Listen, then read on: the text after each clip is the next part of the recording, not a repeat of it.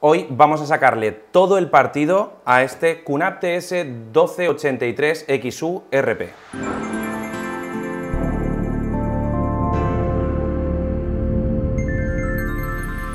Bueno, pues ya estamos aquí, estamos viendo cómo podemos sacar el máximo partido a este QNAP TS1283 XU RP con los recursos que tenemos aquí en Cloudea. Hemos cogido los tres portátiles que tenemos con conexión Thunderbolt 3, tres portátiles de alta gama, los cuales hemos conectado mediante los adaptadores Thunderbolt de QNAP, los cuales, por cierto, estamos utilizando ya desde hace un rato y no se han calentado en absoluto, y estamos sacándole el máximo rendimiento. Según el fabricante, este servidor NAS es capaz de darnos hasta 2200 megas por segundo, ya que cuenta con dos conexiones de 10 gigabits y nosotros lo que hemos hecho ha sido añadir una tarjeta de una QM2 con dos memorias NVMe instaladas en él, las hemos puesto como caché del almacenamiento principal, que son dos discos duros Western Digital edición NAS, y hemos pasado una carpeta llena de vídeos para hacer una de las pruebas más interesantes.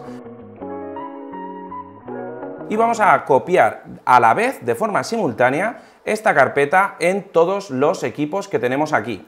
Vamos a tratar de hacerlo de la forma más rápida para que coincidan y converjan las tres transferencias directamente en nuestro equipo. Vamos a acceder a nuestra unidad de red. Aquí tenemos una carpeta llamada vídeos y vamos a pegar directamente en los escritorios de los tres ordenadores.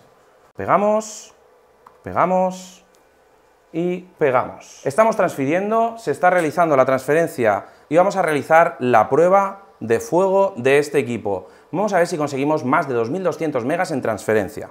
Y ya hemos llegado a los 2,2 eh, gigabits. Vamos a ver si conseguimos subir un poquito más. Tenemos copiando con el Mac toda esta carpeta, la estamos copiando también con este ordenador Windows y con este otro ordenador. Estamos consiguiendo más de 700 megas por segundo y llegamos a superar los 920 en transferencia desde un único ordenador.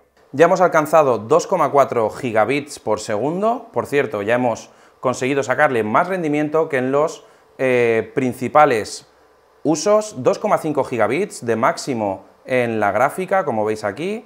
Tenemos dos ordenadores copiando más de 900 megas por segundo y el Mac está copiando ahora mismo a unos 300 megas por segundo, 700, 1000 megas y como veis todos los ordenadores están dando un rendimiento óptimo gracias a los adaptadores de red de QNAP.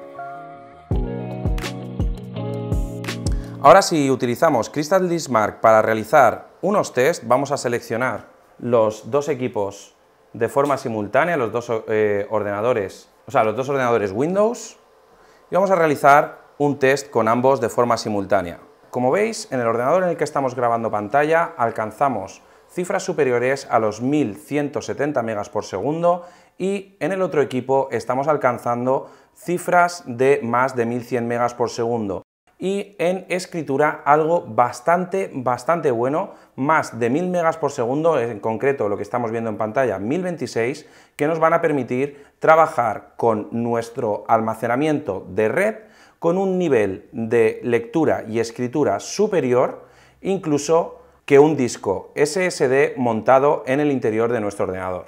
Bueno, pues como veis, todo lo que hemos montado aquí nos ha ofrecido unos rendimientos muy altos con los cuales hemos realizado una prueba en la cual podéis ver cómo con tres ordenadores, copiando vídeo, realizando trabajos, se podría trabajar perfectamente con un servidor NAS de estas características y hemos llegado a una capacidad superior a lo que nos dicen los benchmarks creados por el fabricante. Así que estamos muy contentos de esta prueba, espero que os guste este vídeo y nos vemos en próximos vídeos. Recordad que este servidor NAS y todo lo que hemos mostrado de QNAP lo vais a poder encontrar en nuestra tienda online, cloudea.com.